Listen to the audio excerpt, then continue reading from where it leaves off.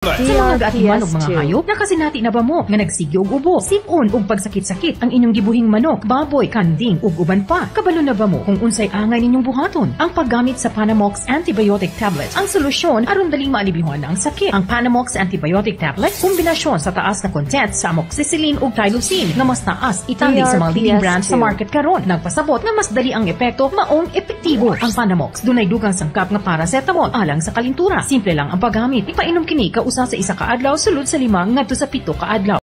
Ayaw na og kabalaka, palit na og Panamox antibiotic tablet. Bisitahin dayon ang mga Agrivet stores sa inyong lugar. Panamox DRPS2. Antibiotic Tablet. Mapalit sa tanang Agri-Vet Store sa inyong lugar.